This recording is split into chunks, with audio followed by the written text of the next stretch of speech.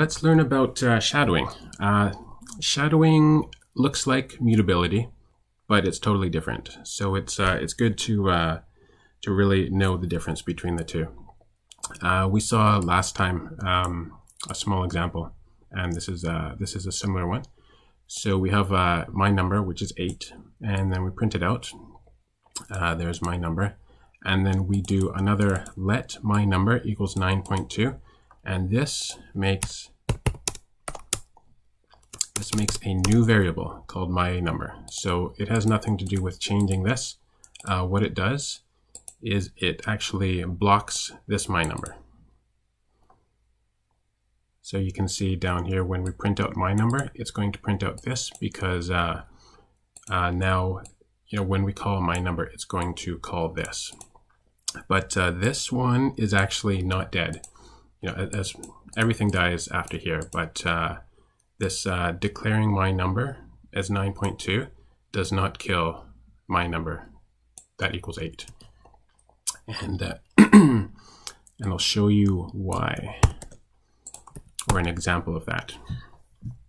So here we have, you remember the uh, how code blocks work, right?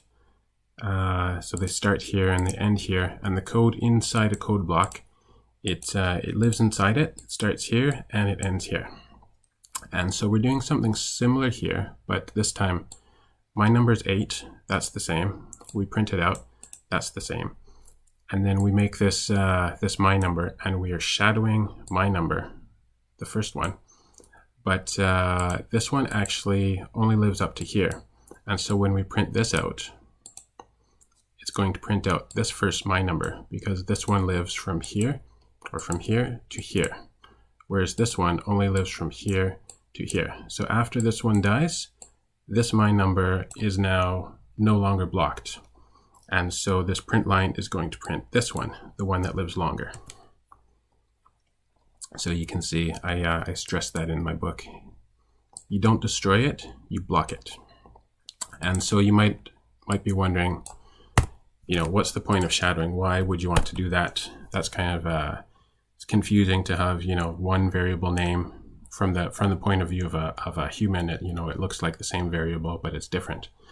Uh, you use you don't use shadowing too much, but uh, it's it's really good for um, for like quick calculations about variables that you don't care about. And uh, this is one example here where we have uh, let's see. So we start out we have uh, just a simple function.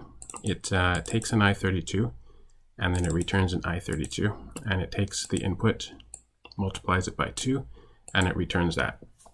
And then we're imagining that we need some uh, some kind of fancy calculation. And so we have uh, let final number equals and there's a whole bunch of things it needs to do.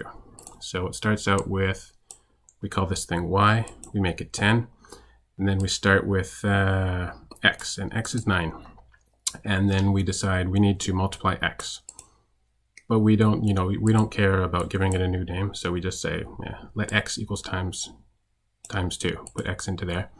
And then we take x again, and we say x is now equal to x plus y. So we're shadowing, shadowing, and then finally we have this x, and we're just returning it.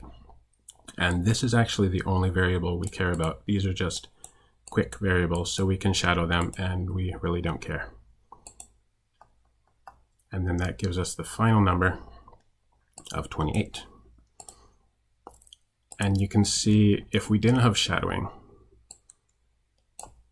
for the same example, you know, we would have to think of new variable names every time, even though we don't care.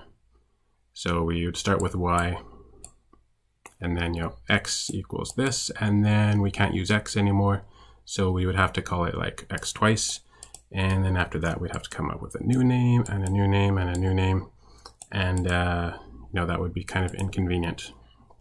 So uh, Rust doesn't make you come up with new variable names. Instead, it just lets you shadow with the same name.